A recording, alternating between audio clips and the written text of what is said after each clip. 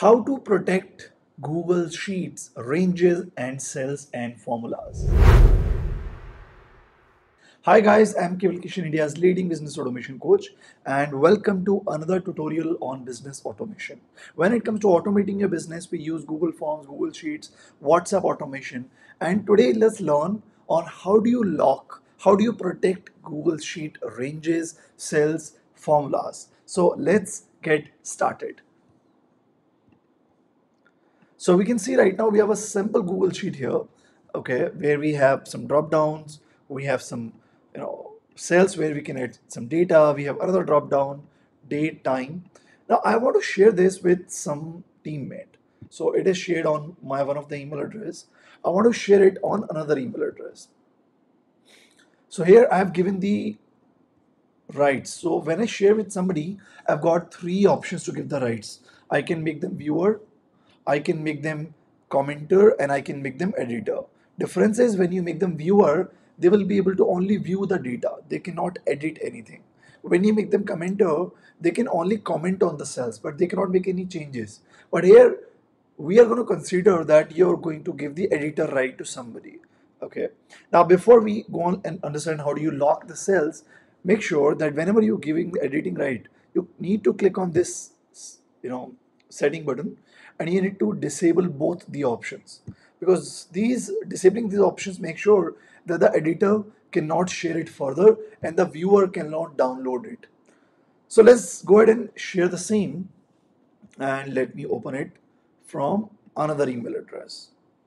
Now this is another teammate who has received the editing access on this particular sheet. And you can see I'm also there while another teammate has opened it so this is this is where I've logged in from a different email address and it is showing that Kishan has opened this Google Sheet, you know, from his email address. And that is this particular workbook, right? So I want that here, for example, other teammate can make any changes, right? I want that the teammate should not be able to make that. For that, what I need to do, I need to lock these cells. And how do we do that?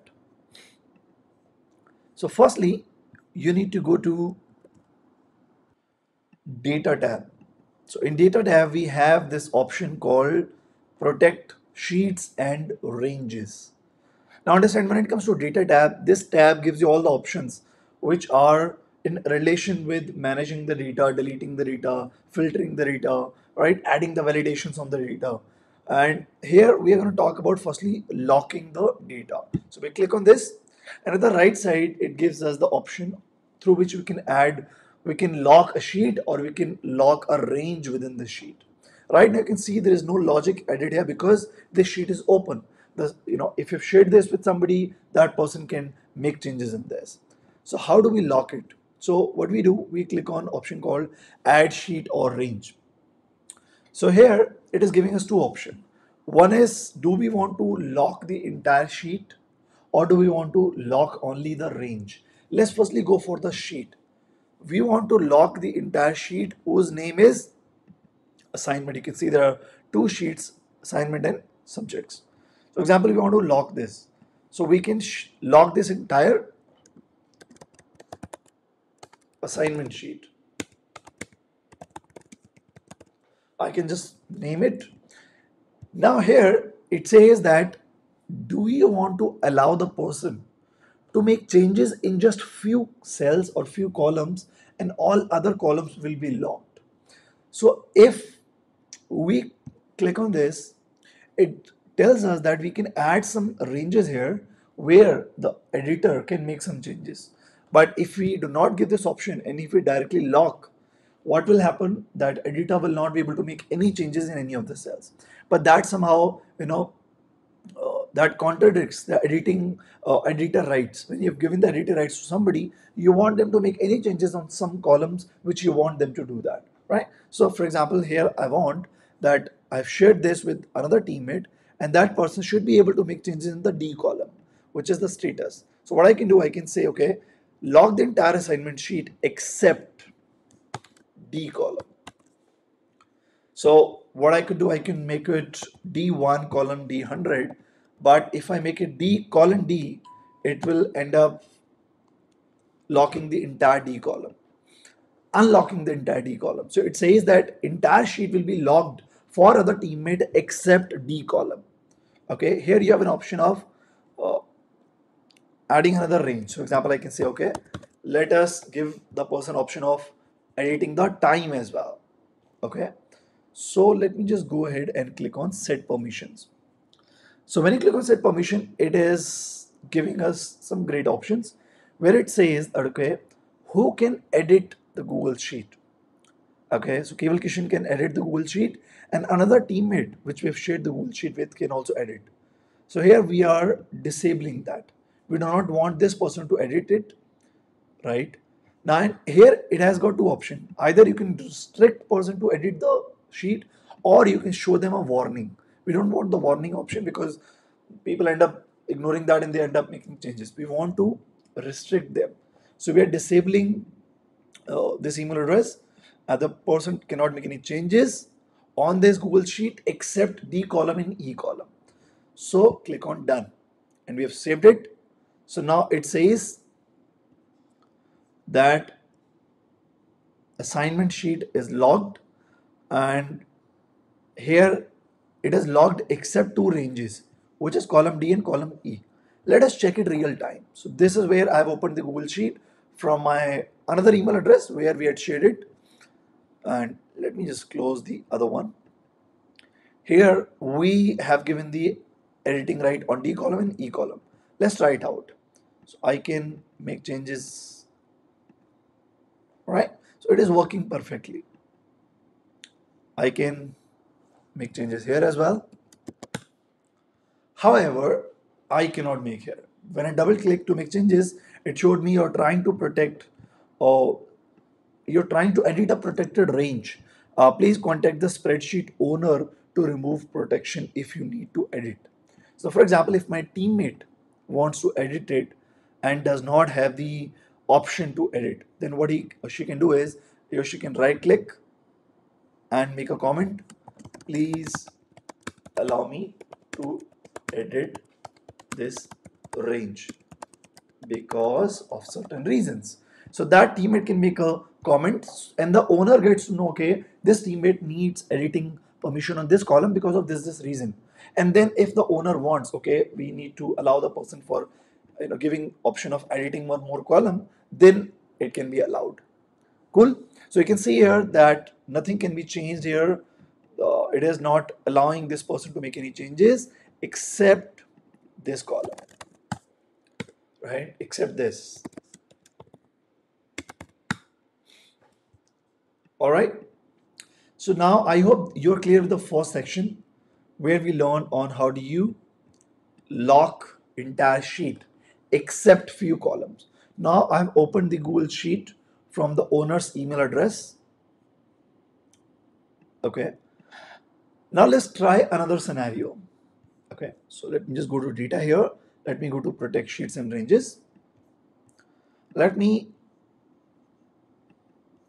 click on this. This is the setting where we had logged the entire sheet and we have, you know, uh, given the option of editing two columns D and E to the person. Now here we have got three columns here, column A, column B, column C on a different sheet which is called subjects. So we have two sheets here, assignment and subjects, right? Let me open it from the owner email address. Now what we are going to do here, I hope you're clear with this. Uh, we are going to try another feature on a different sheet where instead of locking this entire sheet which is called subjects, we are going to lock only few cells or few columns. And another range will be open. Except few columns everything will be open. So it is reverse to what we did right? In the previous uh, scenario we locked the entire assignment sheet which was this one except two columns and that was D and E. Now in the subject we are going to just add a couple of more columns here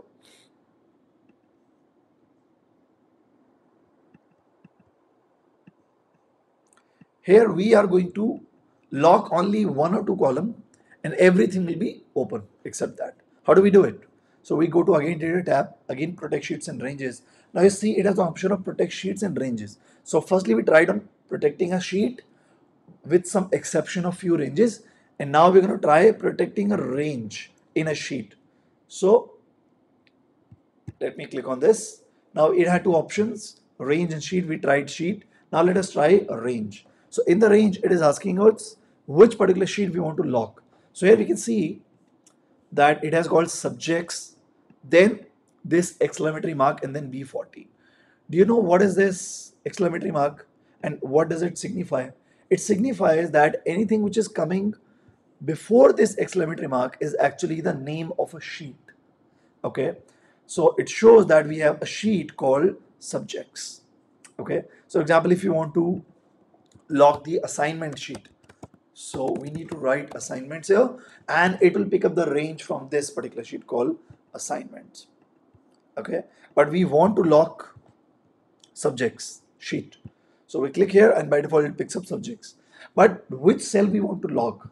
Is it only this B14 which is this one? No. What we want, we want to lock this column called B. We want to lock B column and we want the person to have the option of and the freedom of editing column C, column D, column A. So how do we do it? So we edit like subject exclamation mark. We can write here B1 colon B1000.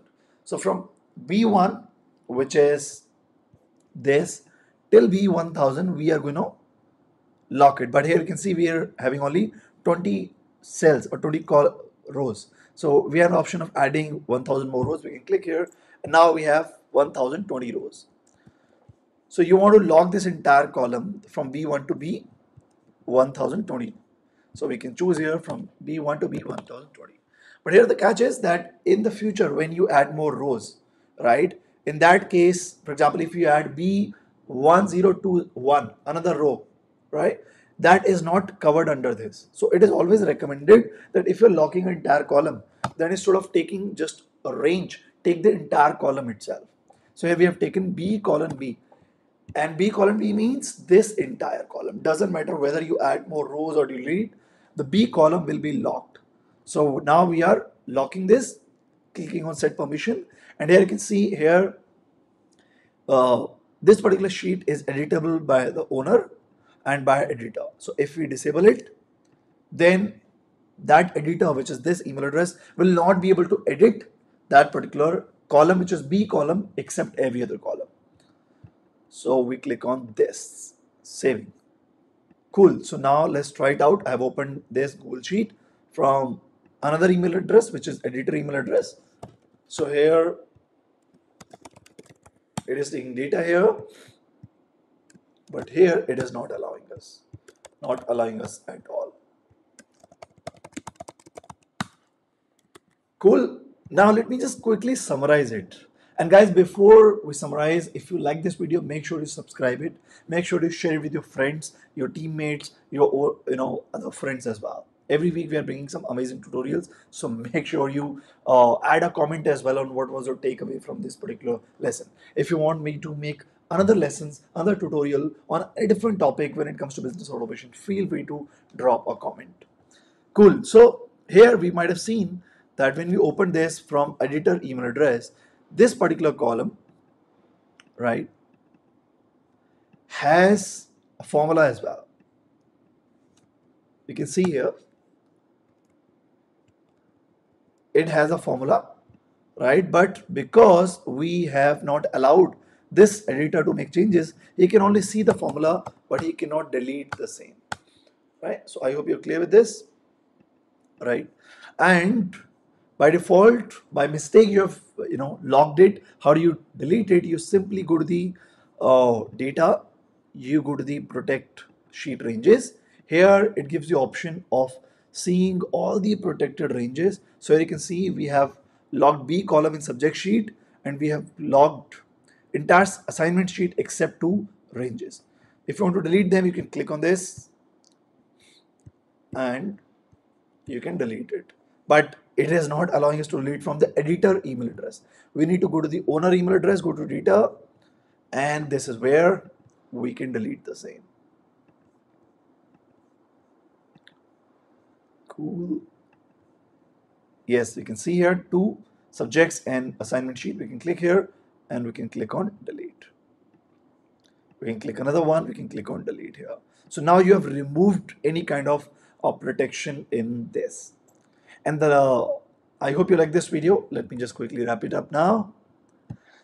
I need to catch up another meeting. I hope you liked it. Keep learning, keep automating, and keep scaling your business. And you know, keep subscribing, keep liking the videos. But every week we are bringing some amazing tutorials. Take care. Bye bye.